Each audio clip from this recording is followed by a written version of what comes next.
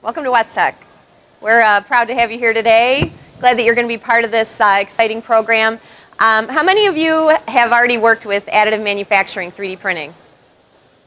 Okay. How many of you are thinking, what is this and how do I find out more? Okay, good. Honest people. Good, good, good. Okay, um, for more than 25 years, SME has been a leader in the additive manufacturing space. Um, really just developing the technology. We had a group that came to us over 25 years ago, a lot of the uh, founders and developers of additive manufacturing technology who um, were looking for a home for their group called the Rapid Prototyping Association. And uh, SME gave them that home, and over time, uh, the technology has grown and advanced, and really in the last five years, significant changes have happened. Um, it's become more affordable. There's more capabilities. Metal has taken off like crazy. So um, we're at the forefront of that, and we wanted to bring that information to you today here at WESTEC. And we've got some fantastic panelists here, two leading uh, manufacturers of technology, some end users, and also folks that are doing things to really increase the adoption of the technology and move it forward. So we're pleased to have you with us today. Uh, we do have the ability for you to text questions to my handy dandy iPad here. Um, so what you want to do is you want to get your cell phone out and you want to text WESTEC 17 to 22333. You're like, what is that? It's not a phone number. It's a special service that'll send the questions directly to me. And uh, we've got some questions to get started. We've got some great videos to kind of get your brain going. And uh, we're looking forward to welcoming our panelists this morning. So if you text WESTEC 17 to 22333. That'll allow you to participate in the session and to send your questions up to the stage. So I'd like to welcome our panelists up now, and they're going to have some videos and introduce themselves, and we'll get started. You can clap if you want. All right, thank you.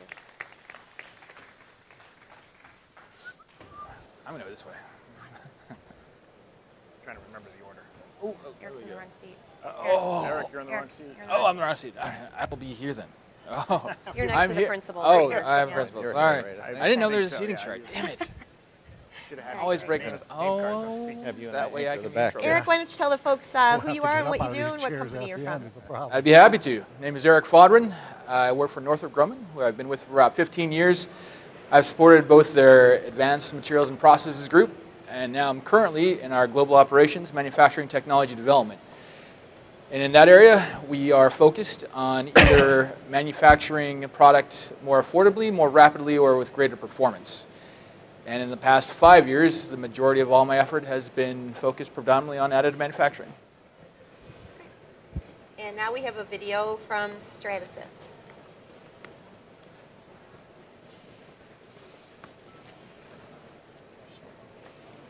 I didn't break it.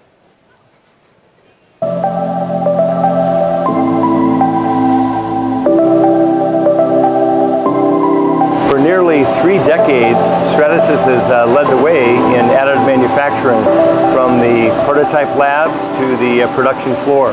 Stratasys is unveiling uh, two phenomenal new technologies. One which is a, a three-dimensional uh, infinite build, which allows us to start building parts out of the box in, in a much faster way. It enables products uh, to be made that are much larger and potentially of, of unlimited length.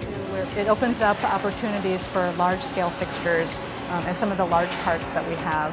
Um, in the midterm, I think that the materials development um, side has a lot of opportunity, especially in looking at automotive relevant materials that have that meet all of the requirements that automotive applications may need. So we've accomplished this by flipping our traditional FDM technology on its side and combining it with a tool changing capability. This has allowed us to achieve speeds of 10x plus from what we know of FDM today. We're producing parts that are now measured in feet versus inches. Uh, we look forward to a large ecosystem which offers large production, stability of processes, and, and a robust base of design, materials, and structures. Um, in the longer term, we're concentrating on more designing for the function of the parts so that we could potentially have better function for those parts. And the second technology allows us uh, to use a robot to get into areas in a, um, a three or a five axis way that's never been done before. It's a very exciting time for additive manufacturing and Siemens working closely with Stratasys on the robotic composite 3D demonstrator. With this project, we bring the strengths of Siemens and CNC and uh, CNC controlled robots with the strengths of Stratasys and FDM, and we elevate it by adding our CAD, CAM, and simulation tools so that we produce a truly unique platform. Uh, it's going to streamline the whole uh, preparation process and make it much more robust and much more predictable, which is very important in composite manufacturing, in any manufacturing, but in composite specifically. One of the truly unique capabilities that this brings to industry is the eight-axis kinematics of the robot and the tables. The robots never get tired, they're always performing at the same level. Once you program it and you tested it, it will run this way till you stop it. This project enables a whole list of vertical integrations that haven't been possible until now. From material feeders to automation equipment to robot loaders and unloaders, we can now span the whole vertical automation framework that is necessary in factories. And we're committed to bringing more tailored solutions tied to manufacturing use cases going forward. Additive manufacturing has been an exciting area of growth over the previous many years, but the best in this industry is still to come, and the time for it is now. At Stratasys, we're shaping what's next.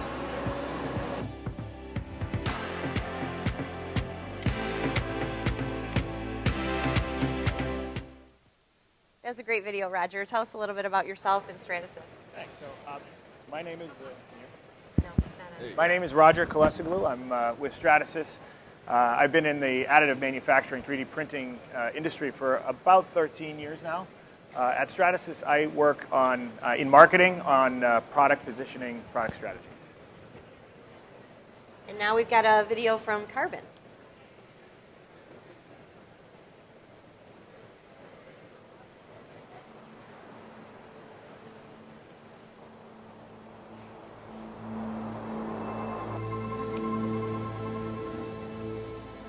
When we first started with the idea of Futurecraft, it was to sort of guide us, to set us on a path. It's a mindset and it's a philosophy to try things. We're always bringing in new influences, new ideas, new collaborations. 3D printing, for example, was one of these new technologies that really had unlimited possibilities. You know, the initial problem was, okay, can we actually make a running shoe out of 3D printed material that really works and works well. So when we started thinking about doing 3D printing, we wanted to use liquids because liquids give you the most flexibility in material design. I think of light as a chisel. Light triggers the solidification of the liquid, but oxygen inhibits it. That allows us to have the object grow. What's really interesting about this collaboration with Carbon is we're seeing a convergence of a completely new manufacturing technology. We're going to scale it with the best industrial partner in the business. We're able to deliver tens of thousands and moving to hundreds of thousands and into the tens of millions. You know, that's clear in front of us. We have this amazing opportunity to innovate the printing process, the liquid rising. And growing in that context can give you new design thoughts you've never had before and new performance capabilities that wouldn't be possible by traditional manufacturing. This three-dimensional mesh structure, it's a lattice, it's a matrix, it's a web of individual elements. Each one of those little elements is tuned specifically for a purpose. These lattice structures behave quite differently than anything we've dealt with before. They're much different than foams. Now we have every individual area of the shoe to work with, which is a completely new horizon for us and a new venture. If you really want to make a shoe that's a size 9, that same shoe for someone who's 180 pounds versus 100 pounds has got to be different. We can go in within every single cell and engineer that exact cell to do exactly what the consumer needs it to do just for them. That's fascinating. That's going to change uh, how we create products and certainly how consumers experience products. And I think that's how we see something like Futurecraft 4D playing into the life of an athlete. I would say this is just the very beginning and you know that sounds silly and cliche but know, who knows, man? I don't, I, I don't know what's next, and that's what's great about going to work every day.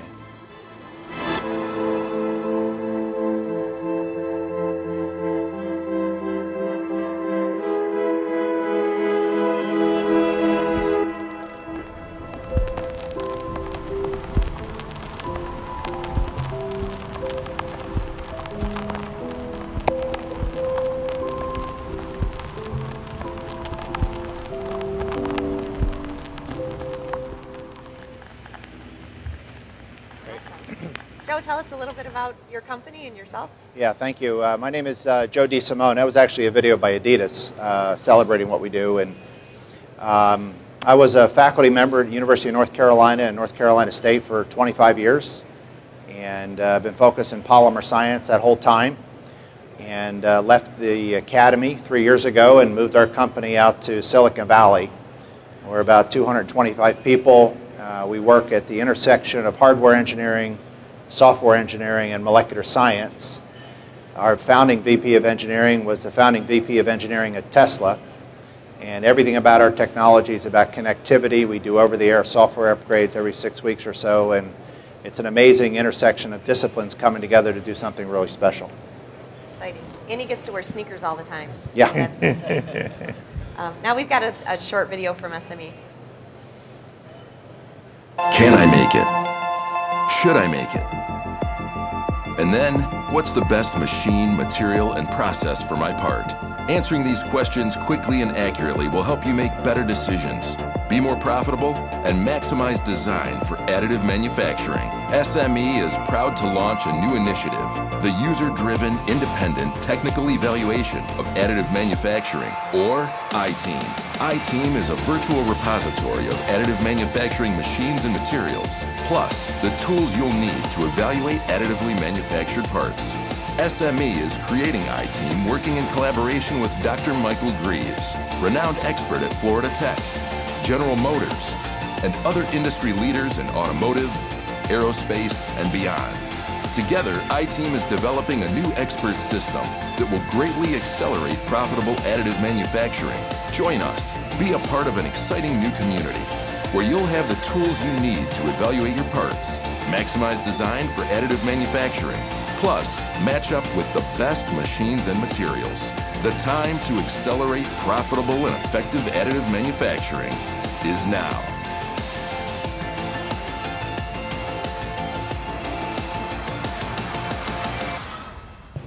Dr. Grieves, you want to make a run at that? Good morning. So I'm um, whoa.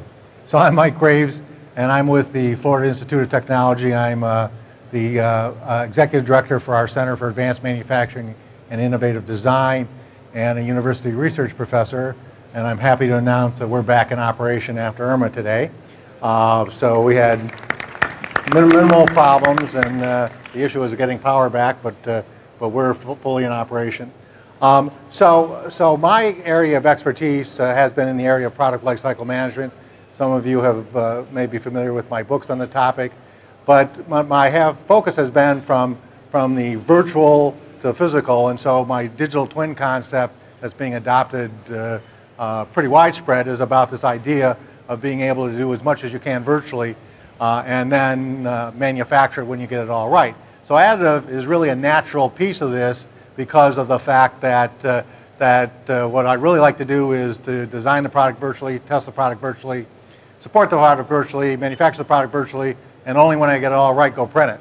So, so this was a, natural progression. And so when I got uh, nominated for this to basically help with SME's I-Team, Shanghai, other people might use the term, um, the whole opportunity here was to basically create a user-driven focus on, on capturing all the information about this in a centralized repository so we can basically continue to ask two questions. Can I make it and should I make it? So we've done some interesting proof of concepts has been funded by the, uh, the auto industry. Uh, and our focus is basically on being able to, to uh, have SME, who is a, obviously a very trusted third party uh, in terms of, of being a connection between the user community who needs this and the manufacturing community who would like to basically provide this capability to their, uh, to their constituency. So we announced the I-Team at Rapid. We are, are basically, in fact, any of you who are interested and joining our consortium can go out to sme.org slash iTeam and simply sign up. Uh, there's no cost to doing that. But we believe that if we can basically centralize and, and provide a, a central repository for, uh, for assessment and education, that we can basically advance the industry. So, so thanks to SME for basically taking a step in this direction and moving this area forward. So thank you, Debbie. Thank you. So remember, you can text your questions to 22333. Got my iPad right here. and um, we look forward to answering those as well. Um, what are some of the ways that additive manufacturing is being used today um, in, in your operation, Eric? Tell me a little bit about that. Well, uh, we've been using additive manufacturing for tooling for quite some time. And, and that's some of the, the first low-lying fruit. And we really started that probably about 10 years ago. When I really started with uh, metallic additive manufacturing is when we we first demoed the, our subsystems metallic implementation of titanium via RCAM additive manufacturing. We're really pushing that forward more and more. So that's what we're doing today. We're implementing that in subsystems for aircraft, and we're actually implementing that same technology in satellites today. We've already baselined that in a couple of our products and trying to take advantage to the greatest extent possible, both cycle time enhancement and cost reduction. That's great.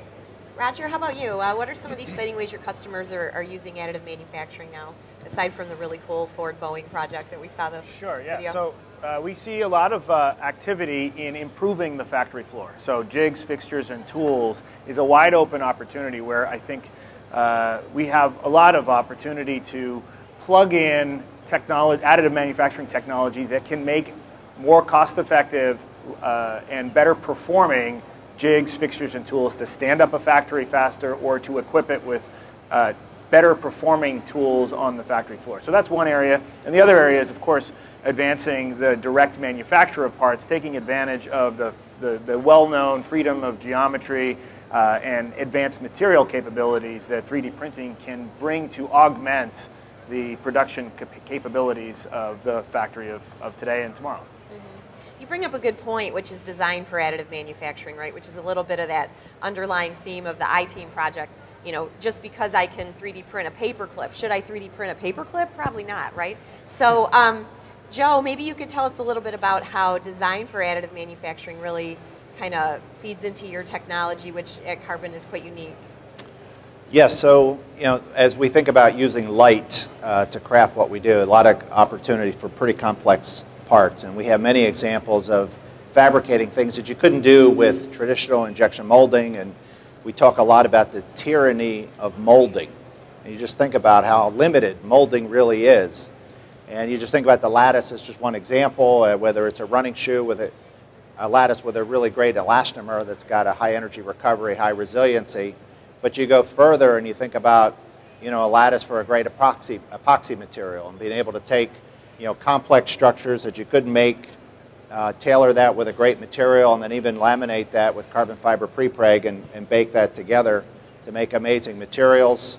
Uh, lots of opportunities for assemblies that were, you know, five, six, eight parts that you can now make as one part uh, because you can. Using injection molding, it required multiple parts to fabricate the device. And as we make it into one and we do you know, a lot of cloud-based finite element analysis to make sure that the part is functional. Uh, and then there's a huge opportunity when you do that to often dematerialize a part. Re reduce the mass by a third or, or more uh, when you can get rid of the complexity of multiple part assemblies. And so those are the kinds of things we think about, multi-part assemblies, uh, geometries you couldn't make before, and then whether you're making one or a million, this whole idea of um, bespoke or mass customization really opens up uh, going forward. That's great. Uh, Dr. Grieves, would you like to speak to design for additive manufacturing? yeah, so, so, so we think there's sort of two pieces here. One is, is that um, as the, the industry is progressing and it's, and it's progressing kind of nicely, not, not maybe Moore's Law, but, but certainly getting more capability every year, that the ability to take existing parts and find out whether you can, you can and should so I wouldn't do a paperclip. Um, you can and should uh, do additive manufacturing for them is going to basically be increasing. So part of, of, of what we're, we've done in I-Team is basically look at uh, a General Motors methodology called SAM-CT, size, accuracy, material, and then cost and throughput. Can I make it, and then should I make it? And so we think that there are going to be more and more parts. Right now it's probably fairly small, but over time more and more parts are going to be made. We really think to, to, Joe's point, is that the big opportunity is the DFAM, Design for Additive Manufacturing.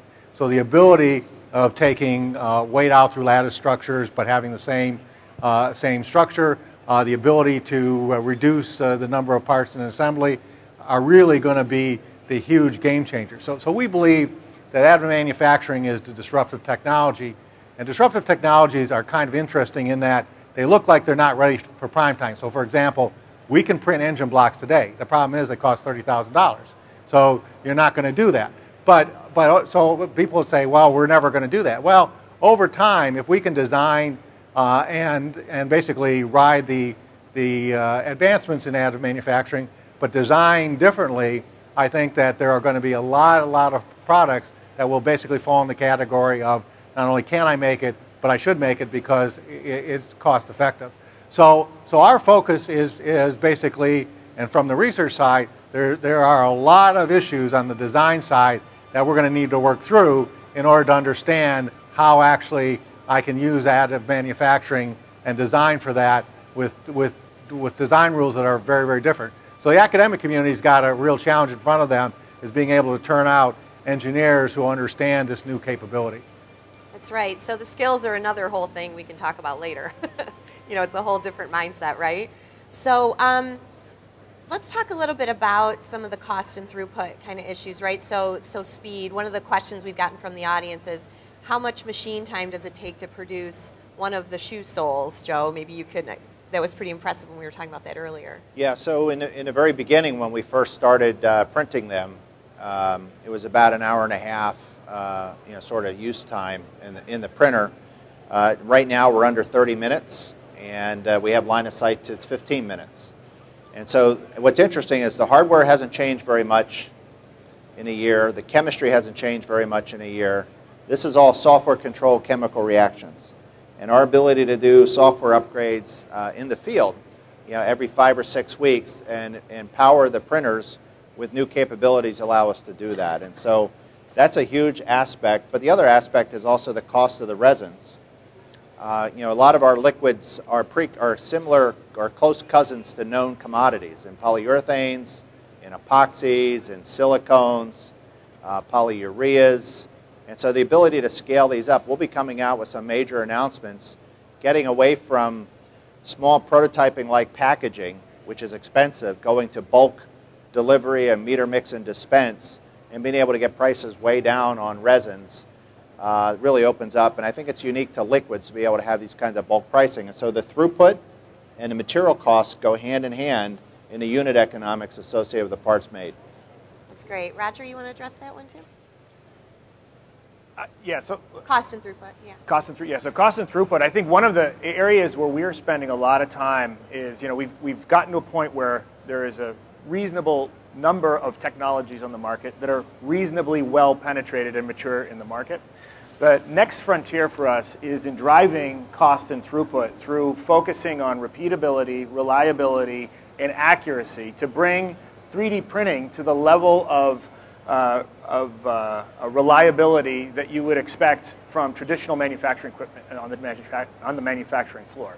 And so there's a large body of work that we're embarked on today to do uh, statistical analysis, simulation, process simulation, and process optimization to bring our technology to the point where it delivers on the yield uh, and on the quality that's required to put it next to traditional manufacturing equipment today and to have it integrate and operate on the factory floor with the lights out uh, capabilities that are required. That drives a significant amount of cost, and I think perhaps one of the things that uh, is, is, is, critical to the market that we don't talk a lot about is, is yield and the effect of yield on cost and on quality and all the other things that drive the economics of a factory uh, operation. So for us, You've seen the video today. We showed a couple of the technologies that we've developed. They don't look like your traditional 3D printer. They're very much uh, tuned and optimized technologies that uh, are, are, are thinking differently about the problem of yield throughput that drive to cost and time to, uh, uh to integrate uh, additive into a factory environment. Mm -hmm. Speaking a little bit about that factory environment, um, you know, having them side by side, our additive manufacturing, our traditional manufacturing. Um, there's a question here from the group. How, how safe are the parts and the plastics that are out there? Um, you know, I know that we talk about putting 3D printers in schools, and SME's been doing that quite a bit. Um, but you don't necessarily think about the environmental piece of that as well. We're in California, very well known for environmental. Um, anybody want to address that question in terms of safety?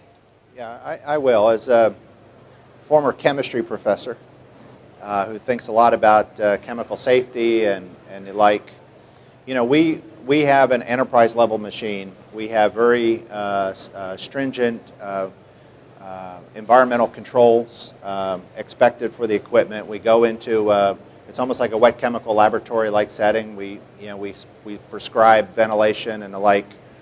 And uh, I think that's really important. I, I, actually get pretty nervous about uh, liquid based SLA technologies uh, in the presence of schools. You know, acrylics, you know, we wouldn't do that in a university setting, it would be in a hood. And uh, acrylics are sensitizers, right? And, um, and, you know, I don't think it's appropriate actually in many ways to put, you know, liquid based systems uh, especially in a school-like setting where one cannot mandate standards. And that's, you know, having an enterprise level equipment uh, where we have prescriptions and, and making sure people are handling those well is, is important. Agreed. Um, Eric, tell us a little bit more about some of the um, innovative ways that Northrop Grumman is using additive manufacturing and, and some of the some of the opportunities you see in the future. That's a great question, and actually kind of dovetailing on the question you had prior, you know, what is the importance of having uh, your additive manufacturing close to where your traditional manufacturing is actually being done? And one of the areas that we're trying to push towards is really getting a better understanding of how those meld. So what we are trying to do is get our additive manufacturing capability as close to our traditional manufacturing capability as possible. And we're not we're not saying one is going to replace the other, but we do believe one can definitely complement the other very, very well. We've got great machinists, so we're putting our metallic AM product right next to that. So they can understand how do we integrate that tooling facet into our additive manufacturing designs such that we can very readily develop datums that are important to the design and get to our end engineering configuration as easily and most rapidly as possible. Uh, and before that, there was some discussion about you know, what is the the cost impact for us. And, and, quite frankly, we've done several trades, and it really depends on the level of complexity. At Northrop Grumman, we're both looking at air and space, and it can range anywhere from a 30% uh, cost decrease and all the way up to a magnitude delta. So that's, that's really significant. So we're trying to understand each of those and really pull on those threads to move forward. From an innovation standpoint, which I think is the original question, is like what are we really moving towards? for us, much like what Stratasys is looking at, they're looking at larger capability, larger volume, out of the box. Powder bed metallic is great. We think it's got a lot of capability, but it's got a lot of limitations too. We want to be able to look at large bus structures for satellite, large durability critical eventually structures for aircraft. And that's going to take a lot of understanding of the materials, the processes, and how we scale up and how that scale up impacts the performance. So all of those impacts on our, our end quality, our end performance are innovating facets that we are trying to understand to the greatest extent possible today. Okay, that's great. Dr. Grieves, what do you think the factory of the future looks like with regards to additive? Well, I, I, so, so I think that, uh, in fact, not I, but we think that basically there'll be a, a major piece of manufacturing done additively. And so subtractive is not going away. I mean, we are not going to have the uh, fabricators of Star Trek, uh, at least not in any of our lifetimes. But, but I think that you're going to see um, classically assembly manufacturers who, who only assemble now move to uh, additive manufacturing for, for parts of their, uh, um, their, their, uh, their, their manufacturing process. So, so, for example, if they're buying 40 parts and assembling it, um, those are sort of candidates to basically be able to, to print them uh, and, and, get better functionality, better quality, and also uh, um, um, be able to reduce the cost of that. Um, I, I, think that, that one of the big issues, I'm, I'm, so I come out of the technology business uh, for a long, long time, and, and so when I started, I ran a, uh, in fact, I ran the largest computer in the world uh, here in California ILLIAC 4, my iPhone now has more capability. So, so you know, we, we, you, you got to look at sort of what the projection of this is. But I think the, the issue is not going to be technological, it's cultural. how do we basically convince people that uh, they should be looking at additive as, uh, as a, a, focus point. And again, this is where we think that I-team is important, is that um, companies are not going to basically look at additive manufacturing and buy expensive equipment unless they've got a lot of comfort that it's really going to do what it is. No middle manager wants to say, hey, let's spend a million dollars only to find out it doesn't work. It's what we call a CLM, career limiting move. Uh, and so, so the opportunity to basically um, have a, a, third party like SME as SME, because they're certainly one of the most uh, respected organizations in manufacturing, if not the most uh, respected, is the ability to basically be able to, to provide comfort from both, both sides, the user community and the, and the manufacturer community, that this is viable for what they want to do. So, so um, I think that, uh, that the technological issue, I'm comfortable with guys like uh, Joe and, uh, and Stratasys to be able to, to, to keep moving up the, uh, the functionality and cost uh, curve, but the cultural issues are ones that I think that we're going to have to work hard to overcome. Um, since we're here at WESTEC and we can hear some of the machine tools running, um, let's talk a little bit about post processing. Um, the media, who we love, got a couple media out there, I know, love you guys, but there's a little bit of a perception that we're pushing buttons and finished parts are coming out the other end, right? So even though additive manufacturing allows us to make things that cannot be made other ways, things like conformal cooling holes and really cool stuff like that, what is the reality of post-processing and, and where are we in terms of surface finish and, and quality going forward? I don't know, Eric, if you want to start. I think there's a lot to still be to be done in that area. We we've worked with uh, our AFRL customers in the past to try to evaluate what the current capabilities are, and we there's no unfortunately you know, magic sword to, to pass over any of these challenges today. There are some really unique opportunities for specific external geometries, but as you said, for internal passages, those are a different means in which we would treat those as well. Uh, how we are dealing with it today really depends on our implementation. The criticality of the part, whether it's durability loaded for fatigue or whether it's just statically sized. And for the low-hanging fruit, where our first real implementations are on those non-dynamic step fatigue driven components where surface finish is not as critical.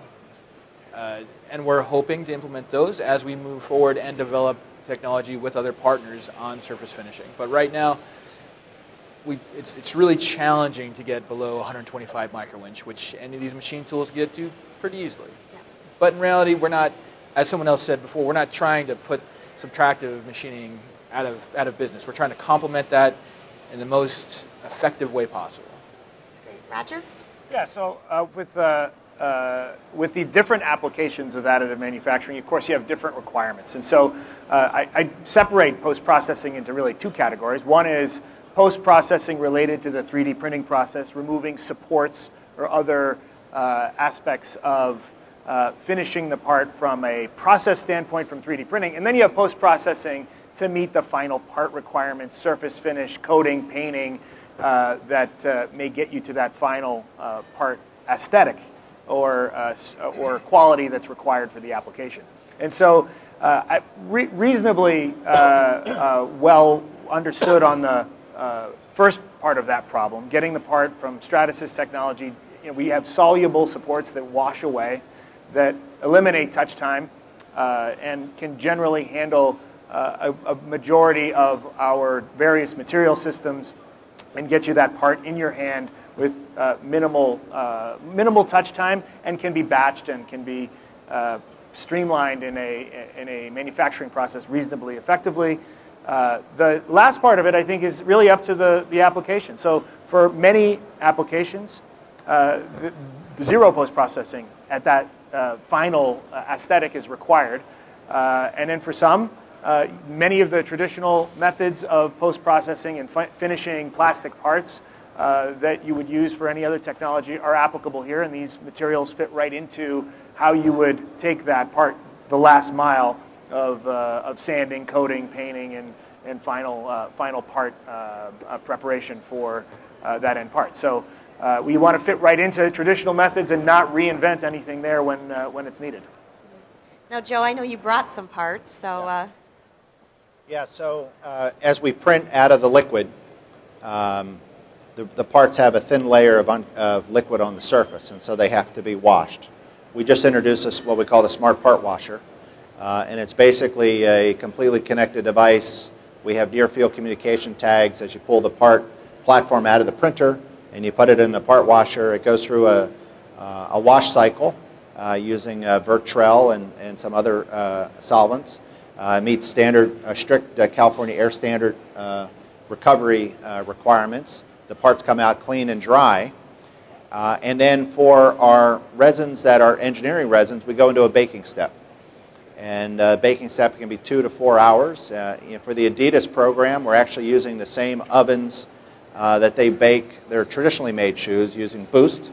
Um, and uh, we go right into the same ovens in the same factory. And so it works out pretty well.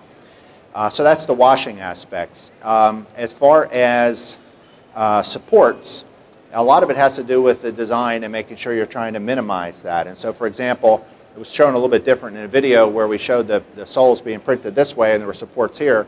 We don't make them that way. Uh, these are actually printed flat and they're baked curved uh, and are completely support free. And so that minimized. So this comes out with a surface finish uh, exactly as you see it.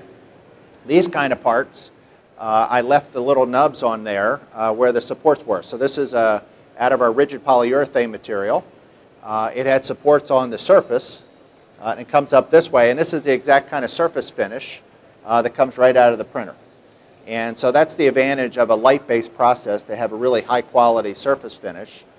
Um, and now we now actually have an, an app store for textures. We have a whole slew of textures. And we've built the software now that you can just click on a texture, click on the STL file, and it even over curved surfaces, and it's one click. And so you can put textures in different places on the part and, uh, and, and allow one to take advantage of a light-based process with a high surface quality, uh, and then you'd wash that and bake that in a similar way. That's pretty interesting. Um, I know that textures really were kind of a little bit of voodoo for a while, right? Like that was a specialty area that people had to really understand. So that's that's exciting. Yeah, and we, you know we actually had a really cool um, Formula One team, an SA, SAE Formula One team, that used some of these texture tools for the basically put the dimples that's on a golf ball on the inside of an air intake manifold in a car engine.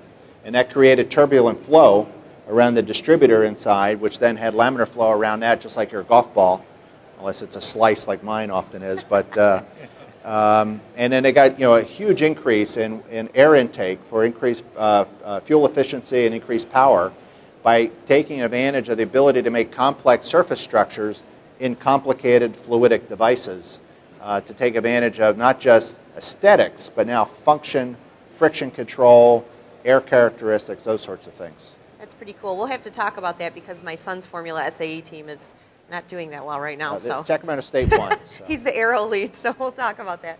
Go yeah, ahead. Let, let me mention one thing on, on, on Surface is that, and this is where I think the sort of the research opportunity is, is that uh, at Florida Tech and, uh, and in fact, University of Central Florida, we're working on, uh, we've got some really good researchers working on laser technology to do surface finish for metals.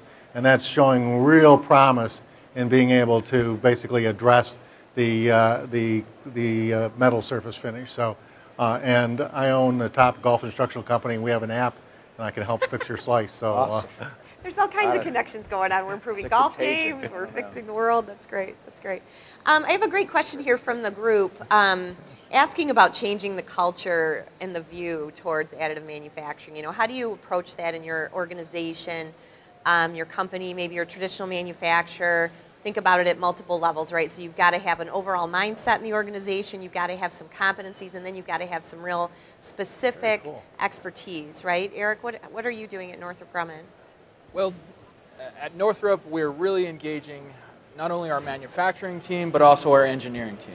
Uh, within the, man, within the manufacturing team, we're, we're already pretty far forward in that mindset of know, additive manufacturing is something that's really going to be a needle mover.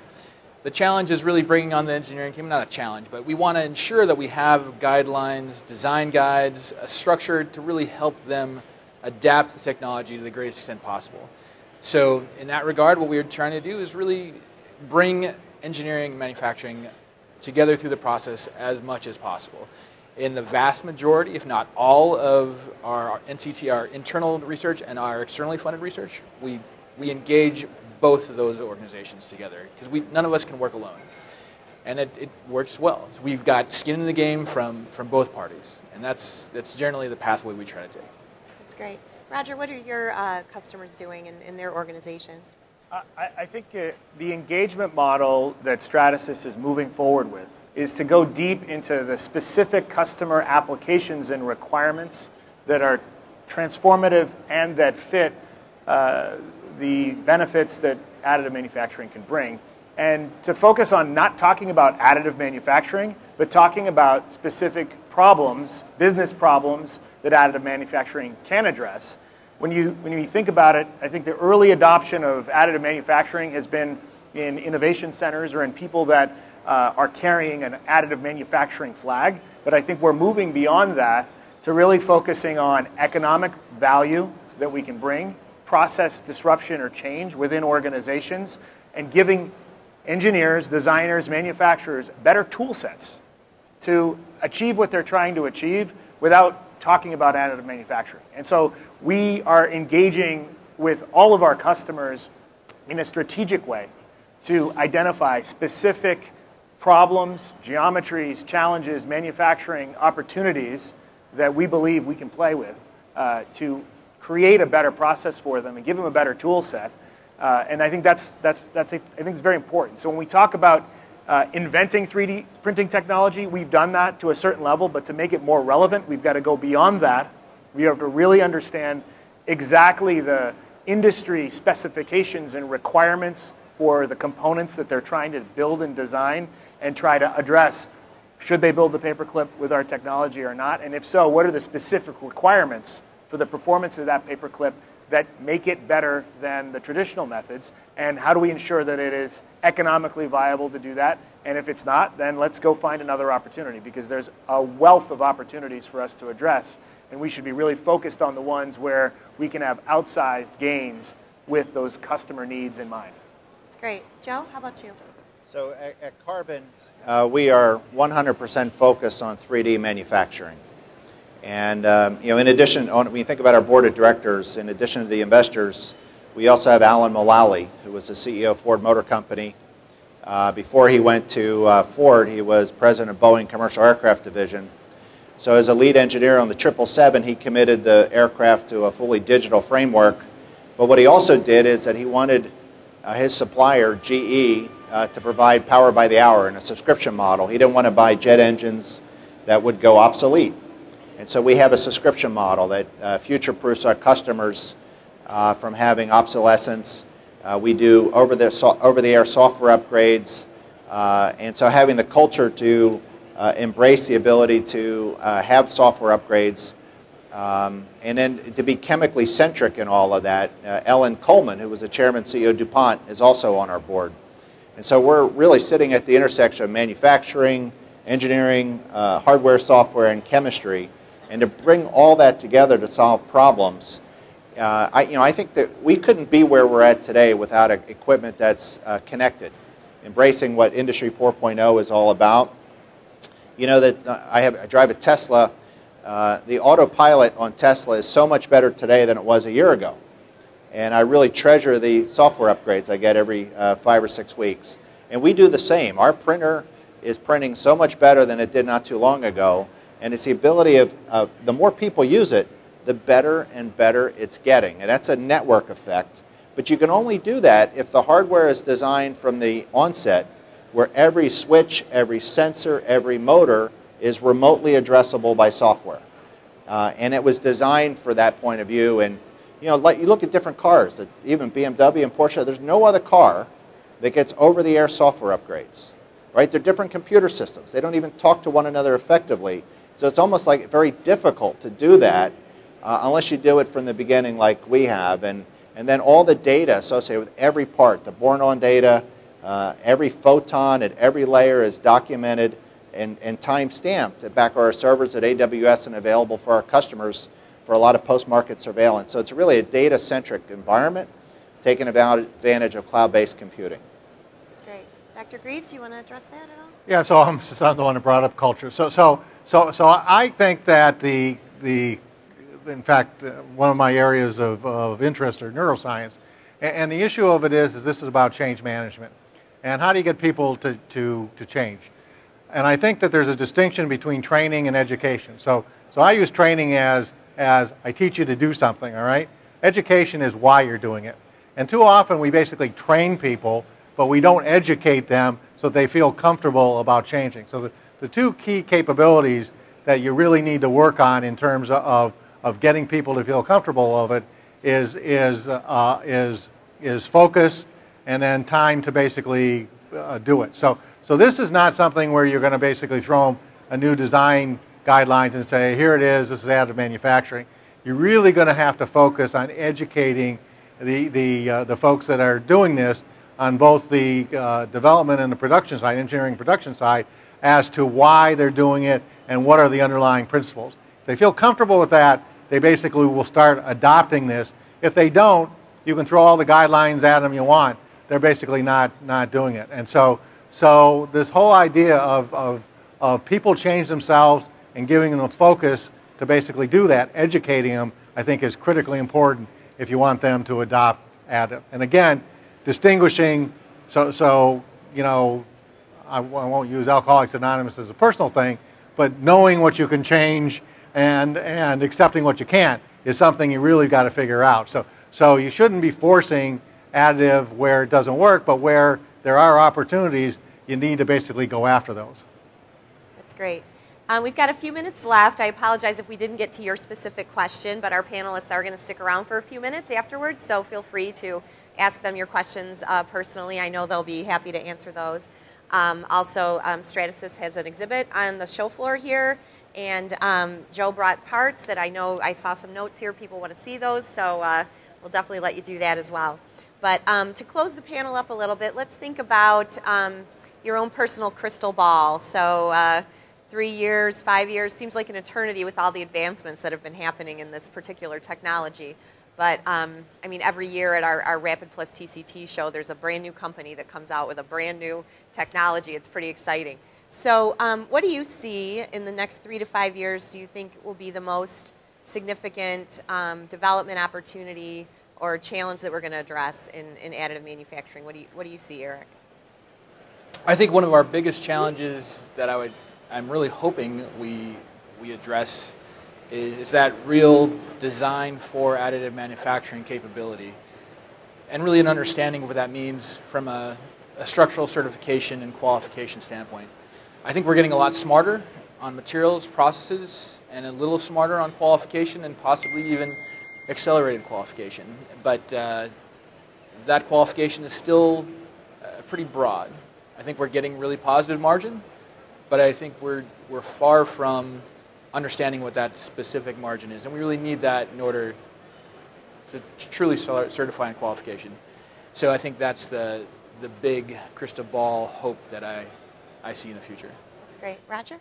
I, I think the, uh, the, the most important thing that you'll see is the move towards standardization, qualification, quantifiable results from 3D printing technology. I think there's certainly lots of purveyors of different additive manufacturing technologies that can print parts, but I think the, the, the, the, most important thing for advancing the industry and that uh, Stratasys is very focused on now is making sure that when you get a part off of a machine, that it's the same from part to part, from machine to machine. Uh, the materials are understood, they're quantifiable, they're, they're, they're measurable, and that they stand next to uh, traditional manufacturing methods as a go-to tool that's very well understood. And I think uh, that requires a lot of work to move beyond the invention to the uh, perfection or optimization of that technology. That's a very important thing to drive adoption. And I think uh, that's going to separate uh, technology that is uh, able to produce in lower quantities or at a higher cost to uh, the technologies that will be able to scale, that will be uh, more relevant for more demanding applications, and they'll be more economically viable and reliable in comparison to the traditional methods that are very well understood, that are very reliable, and that are uh, very easy for people to grasp and integrate into their factory environment. So there's work to be done there. There's a lot of innovation uh, that is behind the scenes that's difficult to uh, understand, I think, uh, because it's not as flashy. But I think that's going to be the thing that's going to help turn the corner in adoption for additive technology in a broader uh, manufacturing environment. Thanks. Joe, don't tell us anything you have to kill us for, but. No, so I, I think this is all about uh, production and all about quality and scalable economics. You know, I think in the time frame that you talked about, uh, if you've got a geometry that can be made by injection molding. That is, you, you can succumb to the tyranny of molding. I think what you're going to see with uh, additive for products that are you're making units of 50,000 units a year or less, they will all transition to additive. Uh, for uh, that's for geometries you could be making by injection molding, but you can write off. You don't have to deal with the tooling costs, and you can deal with uh, having them available uh, instantly and not have to uh, worry about the supply chain and last buys and all those other things. So a, a ceiling of 50,000 units or less are going to be going to additive. Uh, if you've got the right quality of materials and it's going to meet the economics, at least with carbon, we're confident of. And then when you get into designs you cannot make by injection molding, uh, that's where it's really going to open up, and that's a design for additive. And uh, you know, the idea that you can tell what a 3D printed part looks like is going to go away. Uh, these, are, these are parts that are going to look like injection molded parts, uh, but, but go well beyond the tyranny of, of molding uh, uh, kind of ideas. And so I think it's going to be really a, a really exciting time period, uh, both for simple geometries as well as complex geometries you cannot get to by molding. But it's all about having the right materials that have the end-use qualifications and meet the standards for applicability. That's great. Dr. Grieves? So, so I'm, I'm bullish on the area. In fact, uh, I have promised the Navy that they can print their largest battleships by 2075. So, but I won't be around, and neither will they. So, uh, but you guys get a work on, so uh, you don't show me to be a liar, okay? um, so, so I think that there, there's, there's huge opportunity there. I think sort of the, the, the issues are um, basically being able to educate your workforce to understand and ride up this, this technology curve and culturally change them. The qualification thing is a big issue. Um, uh, at, at NASA, where I, I'm a consultant for, is we have done coupons, thousands of coupons to do one part. We can't afford to do that. But the third thing is, as I think, and it, it ties into the I-Team initiative, is basically we basically need to have this centralized source so that we can disseminate information uh, so that, that users you know, understand how, what parts that they can make and, and, and why it's economic for them because you have to add value. Technology without adding value is just a, a, a play toy. And so it, it, needs to add value for the organization. As a former uh, CEO of a public company, if you didn't, couldn't show to the board of directors, who are very simple-minded people, no offense to your board, uh, but if you couldn't show them that this investment is going to create this value for the, for the, for the company in either uh, cost or revenue, you can't get it done. So, so you basically have to focus on that and I think our I-Team initiative goes a long way in trying to pull these things together so we have centralized repository and being able to, to have comfort that users uh, in buying the equipment can get their job done. And then from the manufacturer side, helping educate users so that they're making informed decisions. That's great. Um, I wanted to put a little footnote on this as well. Um, on SME's website, sme.org, we have a page called sme.org slash 3D. We have a lot of resources, a lot of um, information, educational opportunities. We also have a searchable standards database. So all the standards that are out there currently produced by a lot of different organizations. Um, it's really kind of an answer key to that. So if you're working in additive right now, you're looking for an easy way to kind of find out which standards you need to be aware of. Um, it's a great resource um, along with our I-Team initiative. And we have advisors and, and really just a lot of great brains uh, involved in additive manufacturing. So um, thank you for being here this morning. Thanks to our esteemed panel of experts. Thank you very much.